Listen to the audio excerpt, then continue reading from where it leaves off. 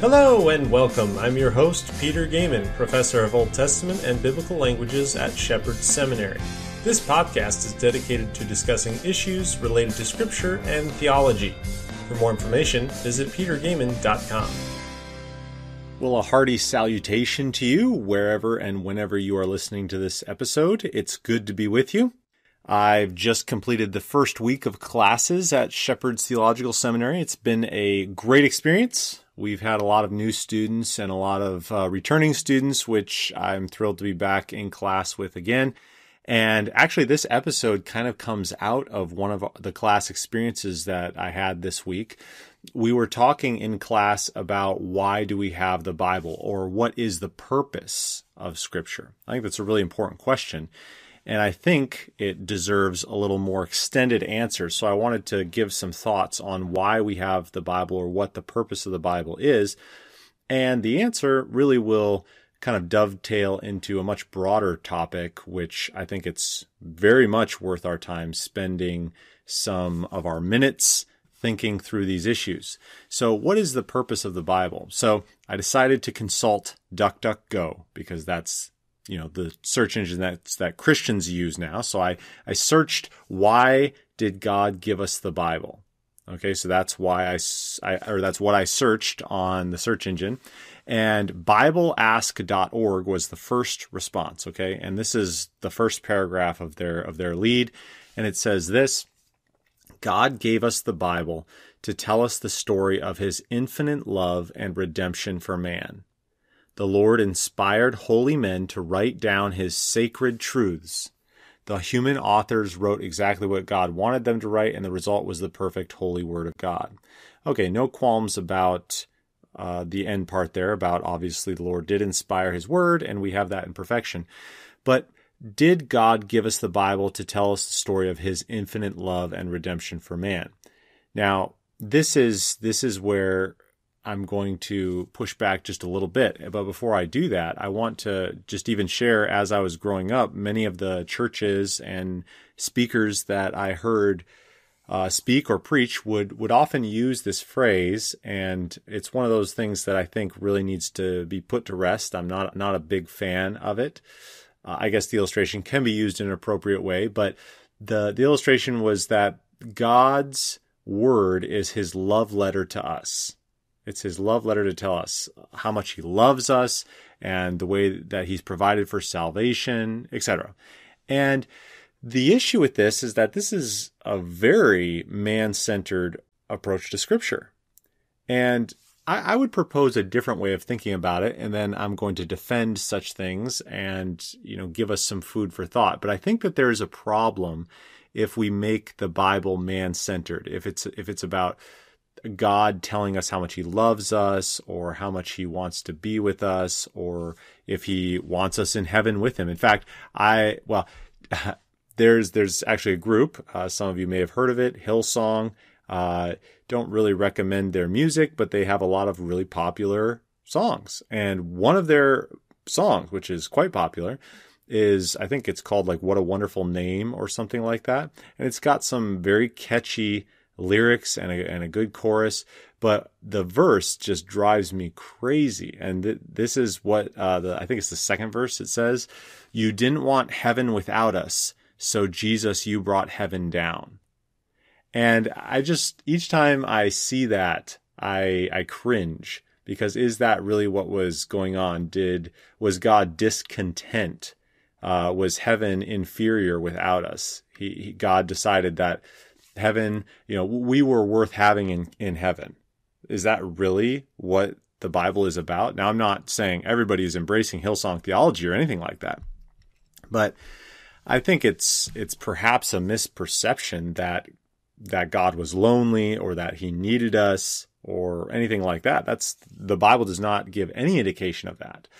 But even beyond that, I think many of us fall into into the pattern of thinking that the Bible is maybe God's self help manual to us. Now, we don't necessarily call it that all the time, but that's how we treat it. A lot of times we think of scripture as, okay, let's, let's just crack it open and, and get some, get some understanding about how we can change our personal oil in our life or whatever. And I'm not saying that the Bible doesn't give real valuable help. Okay, it does, absolutely. But understanding the whole scripture and the entirety of the story is so crucial, absolutely crucial. And so I, I want to challenge us. Is the Bible about us? Is, is, is that really a key focus of scripture? And I, I would submit to you that the Bible is all and only about God. Now, are we included in, in that story? Of course, we are a major part of that, but let's not confuse in any sense the protagonist, the main character, the hero of the story is God and God alone. And Genesis 1 1 is obviously a great starting point for that because it says, In the beginning, God created the heavens and the earth. The story starts in Genesis 1 1 and it's about God. That's who it's about. And humans are creatures, as Genesis 1 and 2 begin to make very clear. God created humanity. And so the purpose of humanity is built into the framework of creation. We are creatures.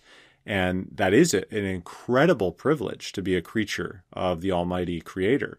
But at the same time, we are not to think of ourselves as more than that.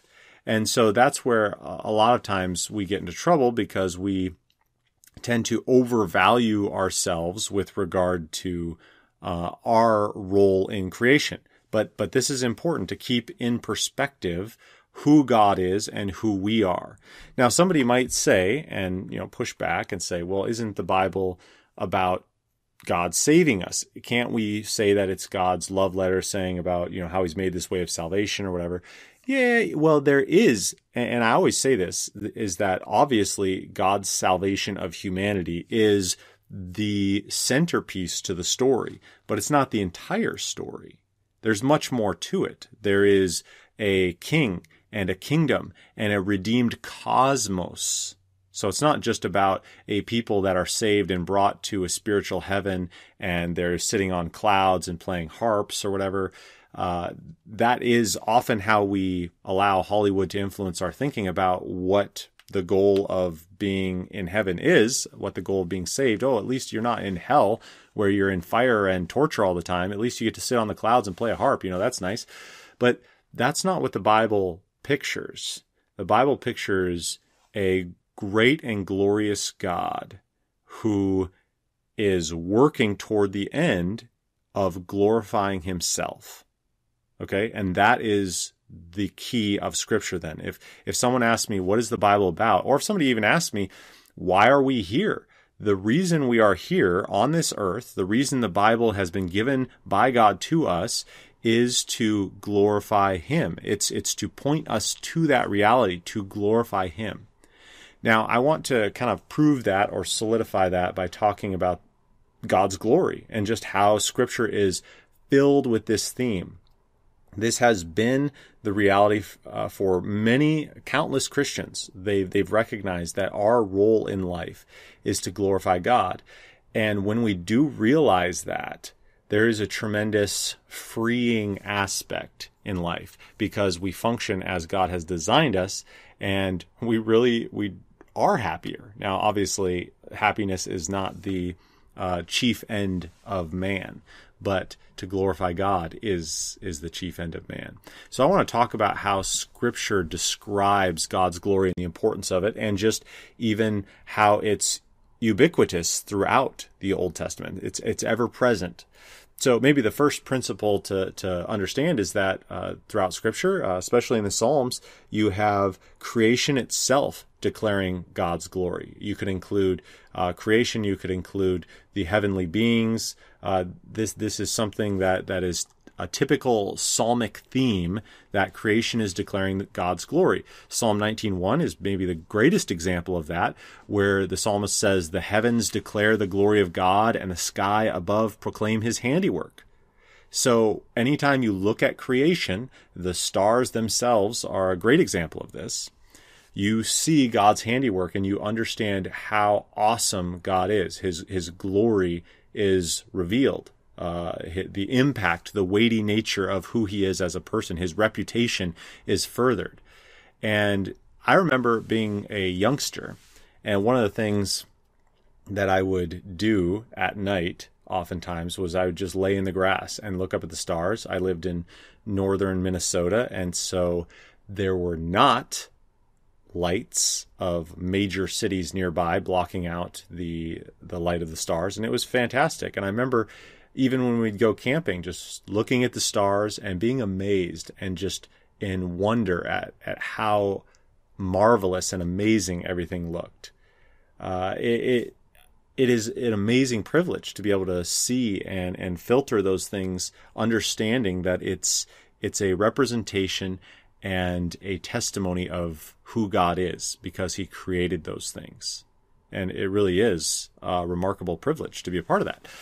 But notice also, as Scripture carries on this theme of creation, that one of the marks of rebellious, foolish, sinful man is that he will often reject the glory of God as it relates to creation. And of course, Romans 1 is perhaps the best illustration of this. In Romans 1, we're told that mankind suppresses the truth about God in unrighteousness, Romans 1:18. And then in verse 21, it says, although they knew God, they did not honor him as God or give thanks to him but they became futile in their thinking, and their foolish hearts were darkened.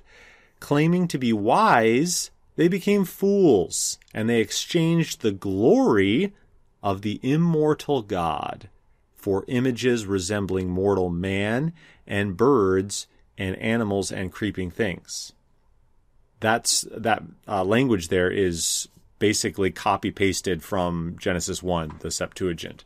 Uh, those are those are descriptions of what God created in Genesis one, and then later on in verse uh, 25 it says they exchanged the truth about God for a lie and worshipped and served the creature rather than the Creator who is blessed forever. Amen. So Romans one is really hitting this theme of of creator versus creature. This theme very very uh, significantly here, and it says it's the epitome of foolishness. They claim to be wise, but they were actually fools when they exchanged the true glory of God as it's revealed in creation and his design for creation. And they exchanged that and they said, We don't want that. We want our own version of reality.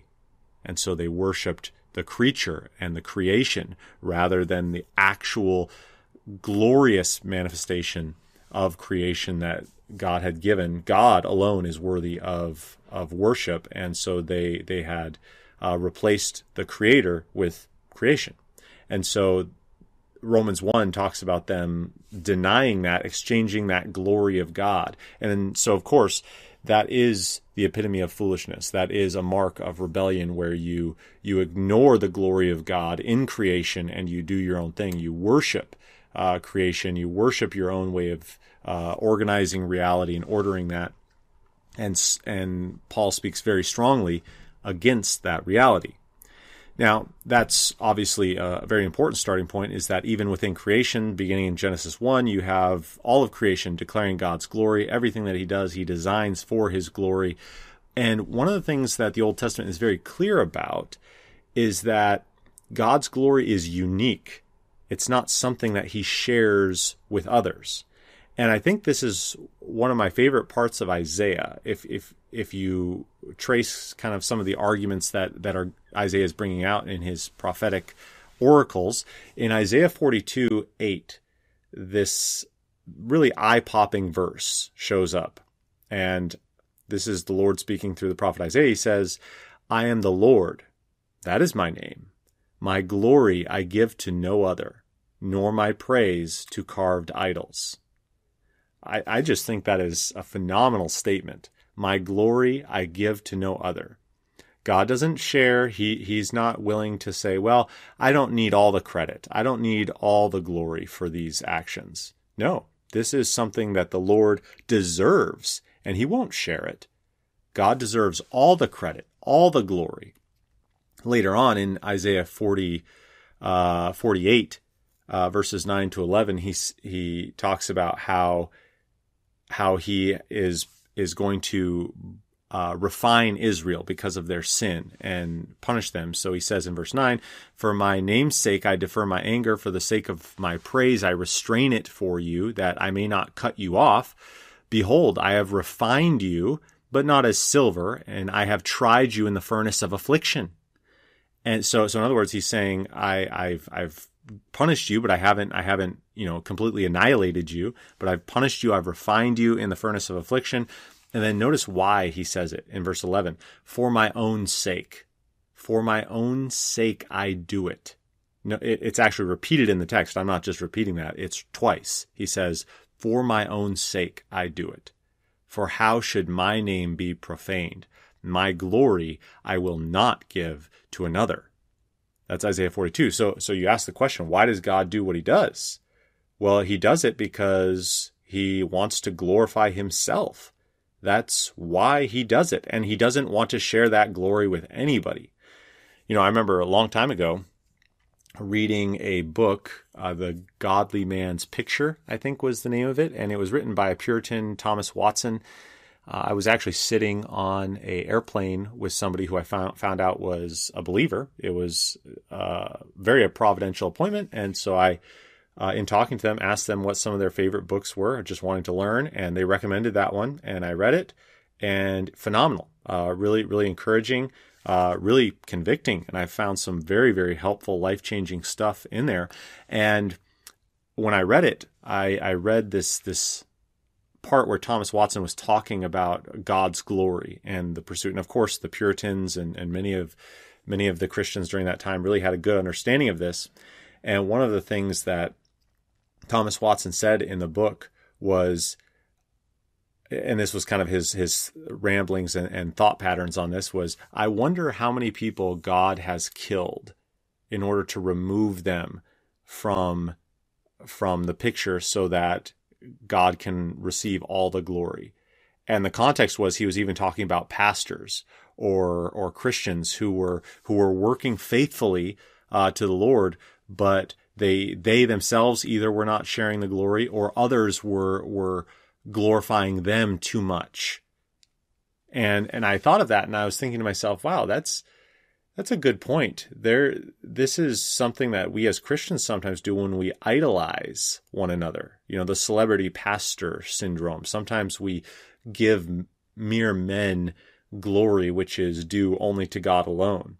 Now, at the same time, uh, we understand that there can be an individual who is who is very humble, trying to give God all the glory, and we, when we look at them, can can respond wrongly, and we can in our own hearts attribute them glory that they do not deserve, that only belongs to God. So we can do that, certainly. But it is interesting. And, and when I was reading that in, in the book of Thomas Watson, I, I remember thinking to myself, this is, this is a serious enterprise. God is very serious about achieving his maximum amount of glory. And rightfully so, because he and he alone is the only one who is worthy of glory. And of course, there are there are multiple biblical illustrations of this. Maybe my my top two, the favorite ones that I think about, would be Daniel four. Daniel 4 would be an excellent one. You have Nebuchadnezzar there, and Nebuchadnezzar is saying, Oh, look at what I've done with, you know, mighty Babylon, the city that I have created. I have done this. And, and of course, knowing the his, history, uh, the city of Babylon had the Hanging Gardens of Babylon, one of the wonders of the ancient world. Of course, this was phenomenal. And of course, the region there uh, being very beautiful. Uh, they were the capital of the world. Babylon was such a such a powerhouse with regard to their military might. All of these elements were just incredible. And so Nebuchadnezzar is saying, "Look what I've done! I, I, I, I." He's he's the eye monster, right? And so he's saying all that. And the scripture says before he finished speaking, while the words were still in his mouth, a voice came from heaven, and Nebuchadnezzar was duly chastened. And God says, You will spend seven years of your life uh, basically eating grass like an animal until you learn that I am the powerful God who gives the kingdom of men to whomever he will. Like this is the power of God, and this is what you must learn, Nebuchadnezzar. And so it is an incredible passage, an incredible illustration of the fact that God really doesn't uh, play around with that kind of understanding. And perhaps an even greater illustration of that would be Acts 12. In Acts 12, we have uh, Herod and the people were shouting to him, and he had just given a, a great or, oration. And so the people shout and say, The voice of a God and not of a man. And verse 23 of Acts 12 says, Immediately an angel of the Lord struck him down. And then we are given the reason because he did not give God the glory. And he was eaten by worms and breathed his last. Sounds like a great way to go. But notice the causal statement there. He was struck down because he did not give God the glory. This is a really interesting theme. And if you have not thought about this before, you really need to. Is that all of life is pictured and geared toward the glory of God. This is the overall theme of Scripture. This is why Scripture exists to teach us to glorify God. And there are many people in Scripture who we can learn from their negative example, like Herod, where we understand that they did not glorify God. So it's really important to recognize that God's glory is unique and He is the only one who has ever existed and will ever exist where He deserves every ounce of glory possible. Because that is who He is. He is the Creator God who makes all things possible. So that's a really, really foundational aspect. But there are other things in Scripture that, that point to this reality that we would be wise to consider as well. Obviously, on this podcast, we've talked about the future of Israel from time to time being a dispensationalist, I think that that's an important thing to talk about because scripture talks about that. But one of the key components, which is often minimized in talking about this, especially by those who aren't dispensationalists, is that scripture talks about the reason God interacts with Israel and the reason God is going to restore Israel is for his glory. And scripture is clear about that. Starting off in Isaiah 43, we've referenced Isaiah a few times, and Isaiah is very, very much thematically imbibed with this idea of God's glory. In fact, Isaiah 6, holy, holy, holy, the whole earth is filled with his glory. So, of course, Isaiah is filled with this. But in Isaiah 43, it says, I will, I will say to the north, give up, and to the south, do not withhold. Bring my sons from afar and my daughters from the end of the earth. So it's talking about a restoration of Israel here. Everyone who is called by my name, whom I created for my glory, whom I formed and I made. Isaiah 43 is, is all about the servant that uh, Jacob the, the servant Israel here. Uh, Jacob in Isaiah, sometimes you have a servant reference to Israel, and sometimes you have a servant reference to the Messiah. In Isaiah, they, they correspond back and forth sometimes. And here we're talking about Israel. And so they're specifically said, God is saying here, I created for my glory. So I formed this nation for my glory. And so Israel being formed for God's glory has application to us, certainly. Uh, we are not the new Israel. I would not argue that. But I would say that it's, it's the way God operates. He, he forms and selects people to glorify himself. So salvation that would apply in the same regard is that God saves individuals to glorify himself. That, that is a biblical principle.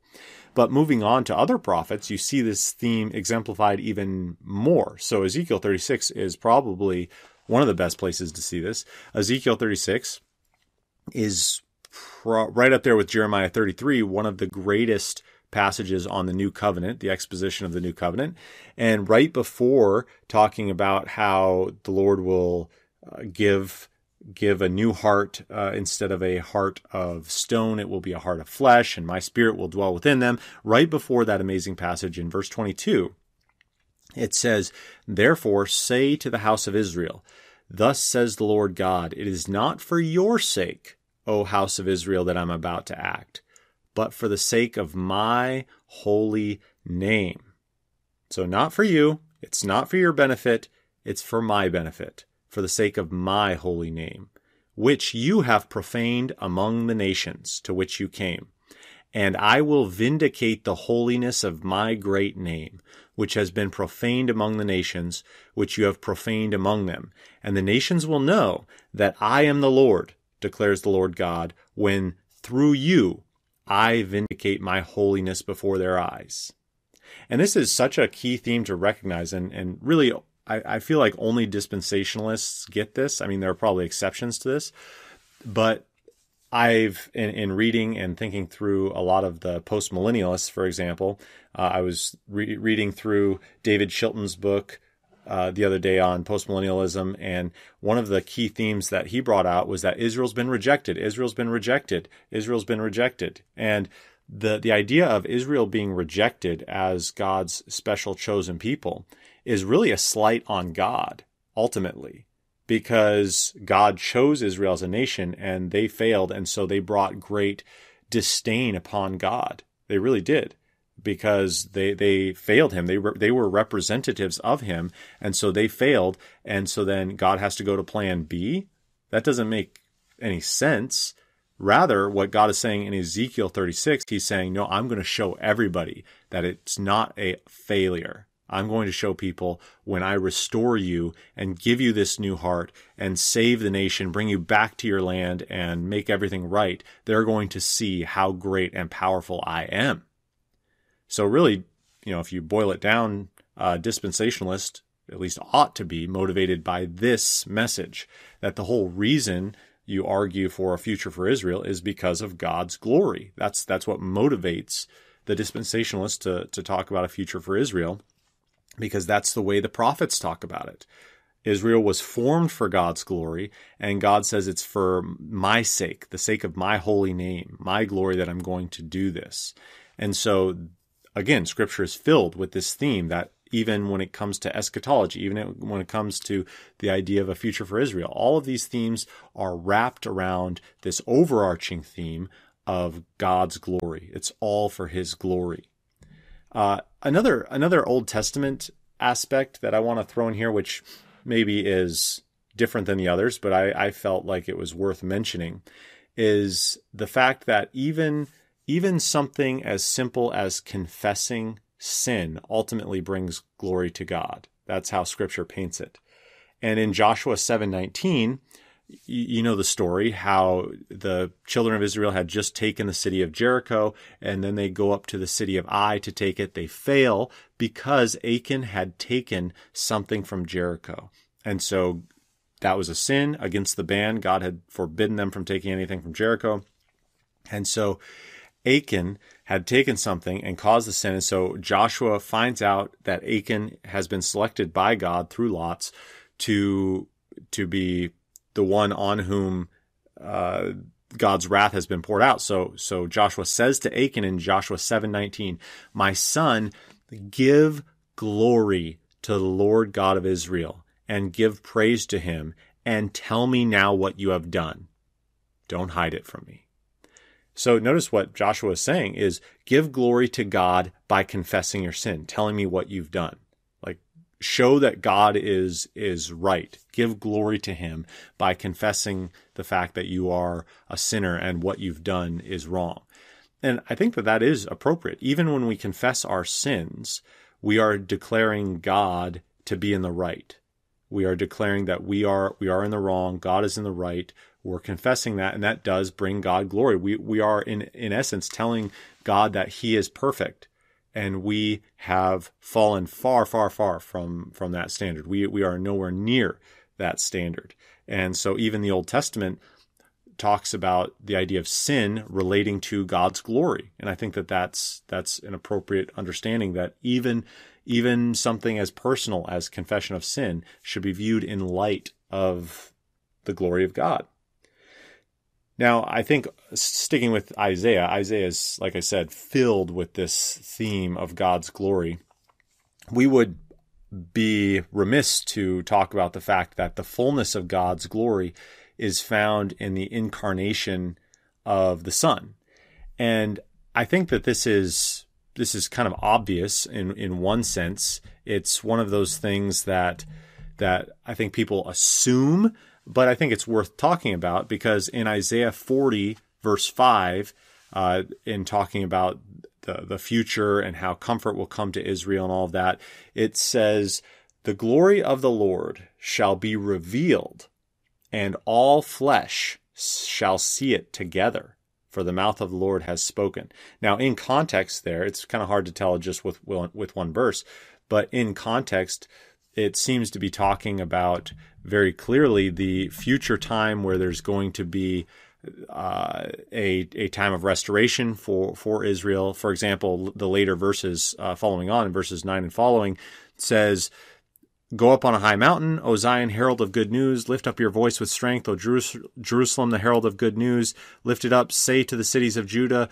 Behold your God, behold the Lord comes with might, and his arm rules for him. Behold, his reward is with him, his recompense before him. He will tend his flock like a shepherd. He will gather the lambs in his arms. He will carry them in his bosom and gently lead those who are with young. So this is obviously talking about an eschatological time where the, the Lord is restoring the fortunes of Israel. Similarly, this is probably identical with the time spoken of Isaiah 35. In Isaiah 35, we're told that the glory of Lebanon shall be given to it, the majesty of Carmel and Sharon. They shall see the glory of the Lord and the majesty of our God. So the same phrase there, idea, looking toward the time when you see the glory of God. And when is this going to take place? Well, verse 5 Then the eyes of the blind shall be opened, the ears of the deaf unstopped. Then shall the lame man leap like a deer, and the tongue of the mute sing for joy. So it's really a beautiful thing that is being pictured here.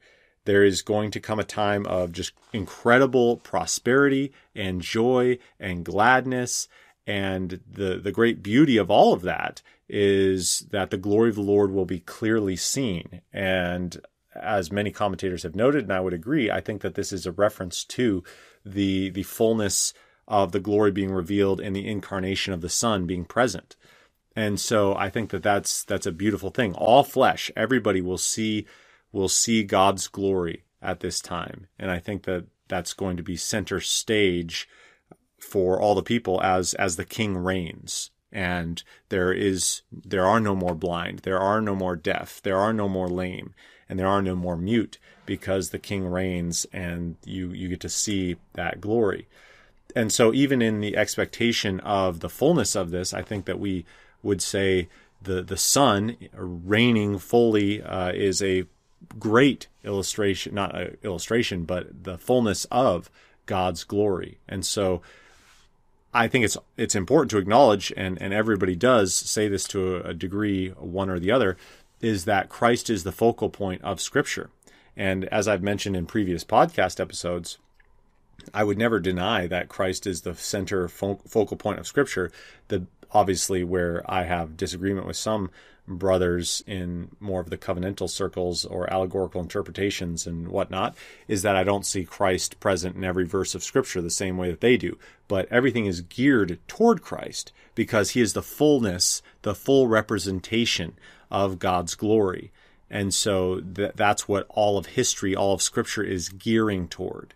Okay, so when we think of the story of, of Scripture, Christ is the centerpiece.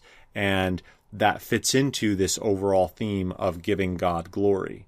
And so Christ is the recipient of that and we look forward to a time where where this is the beautiful display of the fullness of God's glory. Now, that's essentially almost all Old Testament. I did talk about how Romans 1 basically people reject creation and reject God's glory through that as a manifestation of rebellion we did talk about that, but I want to talk a little bit about how the New Testament picks up this theme as well and reminds us even why we live and exist. And so if if you were to even ask Jesus or Paul, why why are we living? Why are we existing? Why are we obeying the commands of God? What is our purpose? What what's the whole goal behind these things? Well, I think it's it's pretty clear. You just survey what scripture has to say. Matthew 5 uh, 14 through 16, talking about uh, being a light for this world, uh, exemplifying the good works before men.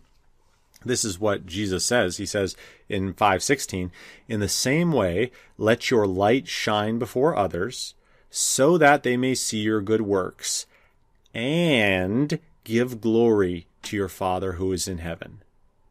So the whole point here that Jesus is pointing out is it's not just you're not just trying to do good works to you know get a badge of honor or even earn a heavenly reward or whatever. The, the, those are all uh, considerations. I mean, I guess not the badge of honor, but Matthew 5:16 really puts the emphasis on the whole point of of being this light before others and and manifesting your good works are so that others will give glory to your Father who is in heaven. That's the point.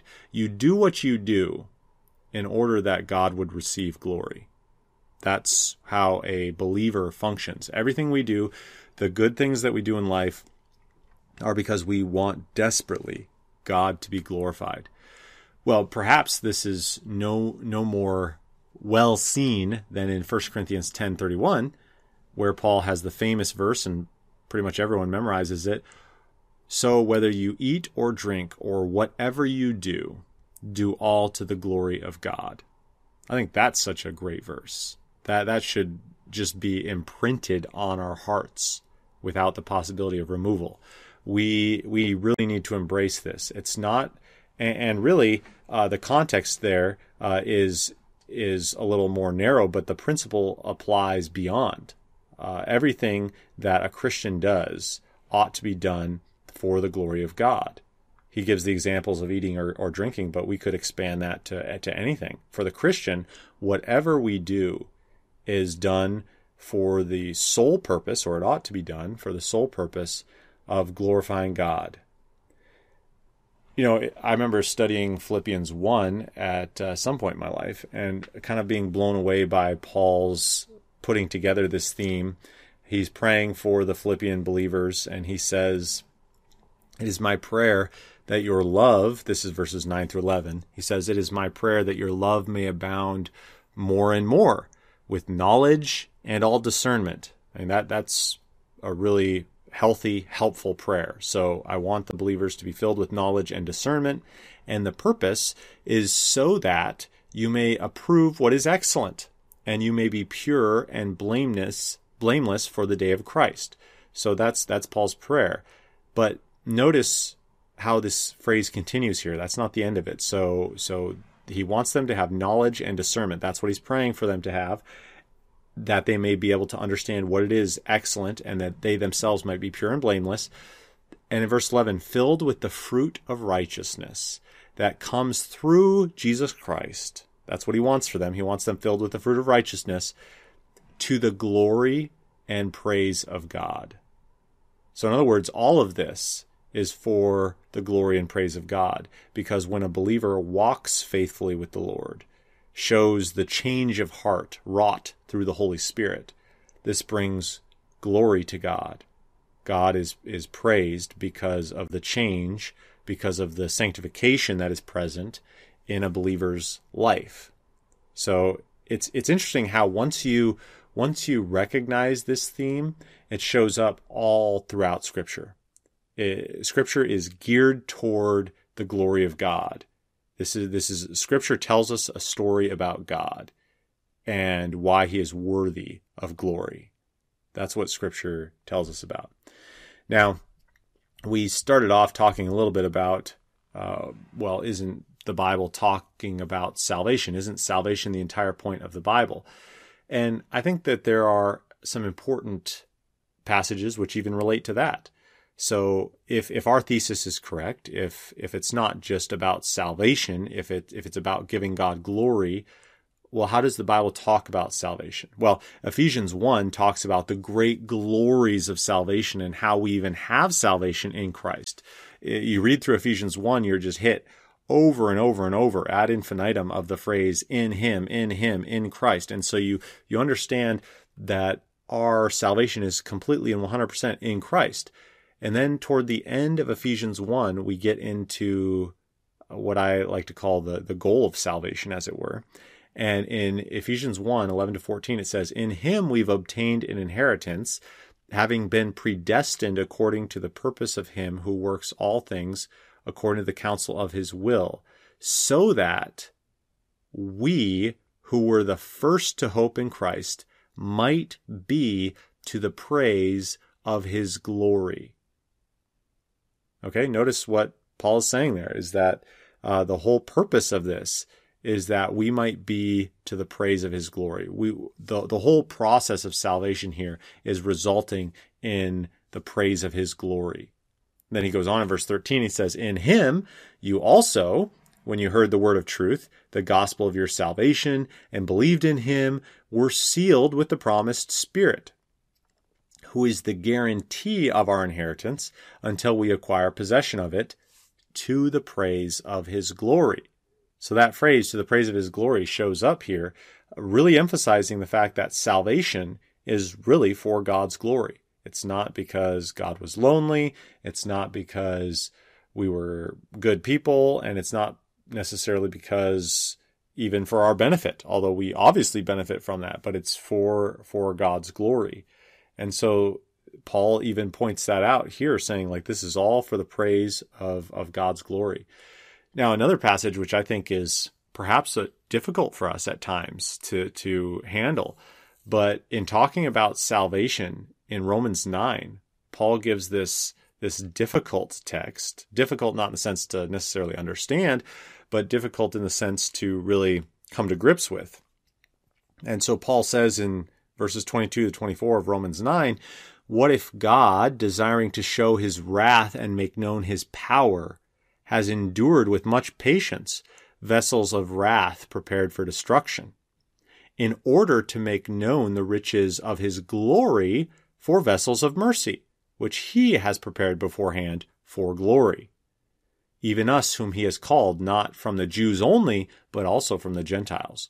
So, in other words, Paul is, is making the argument that both from Jews and Gentiles, God has, God has vessels that are prepared for destruction and vessels that he himself has prepared for glory and both of these are according to his his will and his pleasure for glorifying himself and i think that that is is a element that is difficult for us that god receives glory because he judges people in wrath and for for us i think a lot of times we we think that you know god only gets glory when he saves people but God also gets glory when he judges people because of sin. That may be a hard truth to receive, but it's a necessary truth to receive. Is that there are multiple ways God receives glory, and he's he's operating according to his will in order to achieve that glory, in order to show himself as just, holy, loving, good, kind, all of those aspects and characteristics of his character are in full display in what he chooses to do. And so we, like Paul, need to embrace that it's not just salvation that gives God glory. It's, not just salvation that's the entire point of the Bible, but it's emphasizing and highlighting the great and glorious God who created all things and who's worthy of our praise and of maximum glory. You know, this this theme of of God being worthy of glory is just found throughout scripture. Once once you see it, you can't unsee it. And this is why the reformers were so were so infatuated with this theme, talking about the glory of God, salvation even being for the glory of God, His sovereignty, uh, demonstrating His glory. This was a this was a theme in the Reformation. We we've definitely lost uh, many aspects of this in our contemporary culture because we tend to make the Bible all about us and what we can glean from it instead of just understanding it and its significance of, of who it's about and understanding how great and glorious that is in and of itself. But this was such a common thing in the New Testament. Uh, in Paul's closing greeting to the Roman church in verses 5 through 7 of chapter 15, he says, May the God of endurance and encouragement grant you to live in such harmony with one another, in accord, in accord with Christ Jesus, that together you may with one voice glorify the God and Father of our Lord Jesus Christ.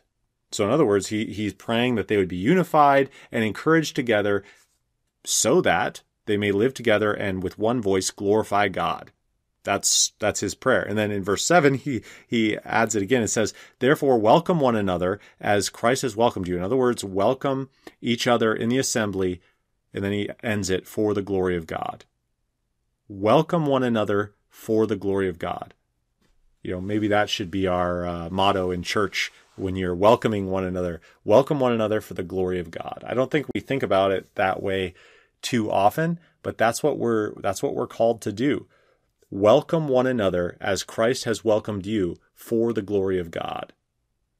Right? That is that is what we are called to. Even something as basic as embracing one another in fellowship is for the glory of God. You know, I was asked uh, even in class this this last week, when do we talk about this? This seems like we don't talk about this in discipleship too often. And I think this needs to be talked about right away. This is such a key component of what it means to be a human being and what it means to be in the family of Christ is that we exist for God's glory. This ought to be a theme that we are repeating and shouting to one another on the on the rooftops. We want more than anything God to be glorified, and whatever that takes is what we desire. You know, the Westminster Shorter Catechism actually starts with this question. Question number one What is the chief end of man? And the answer man's chief end is to glorify God and to enjoy Him forever. That's such a beautiful encapsulation of this basic fundamental truth. Man's chief end is to glorify God and to enjoy him forever. This is this is what scripture describes. You know, I had a teacher when I was in seminary and I maybe it was a little before seminary. I can't really remember, but I remember uh, the class that I was in, and the, the class was just so amazing, always so encouraging, just learning so much about the Bible, and I, I loved it. I loved that. But I one of the things I remember is the opening prayer by by the teacher, and it was left a mark on me because you knew it was for real. This was this was a godly man who who prayed it, and he opened up the class in prayer, just asking that God would glorify Himself. He said, "Lord, whatever whatever it takes, just glorify Yourself, even if it means killing us. Do that to glorify Yourself." I just remember thinking to myself as I was ending the prayer with him, it's like, I've never heard anyone ask God to kill, to kill himself or ourselves if that's what would bring him glory. And that was eye opening to me because I, I really, I really appreciate the full hearted commitment to, to God's glory. And sometimes what will glorify God is not what we think we should do or or how we think we should glorify God. And so that that really needs to be our foundation of our purpose. We are in this world to glorify God. And what a joyous privilege that is. God didn't have to create us, but he gave us the opportunity to exist for his glory. And that that's an incredible privilege. So we started the episode talking about what is the purpose of the Bible or why do we have the Bible? And I think we're able to answer the question as we've kind of surveyed many of these themes and topics. I think we've we are able to come to the conclusion that that all of these topics are in the realm of the purpose of glorifying God. And so why do we have the Bible? We have the Bible to teach us about God in order to glorify him. So, to end this episode in a typical apostolic fashion, may we all say, To him be the glory and dominion forever and ever. Amen. Well, hope it's been helpful for you. You can always reach out to me through the contact form on my website. You can find that at petergoeman.com. You can also check out information on our seminary at shepherds.edu. Until next time, may the Lord bless you and keep you and make his face shine upon you.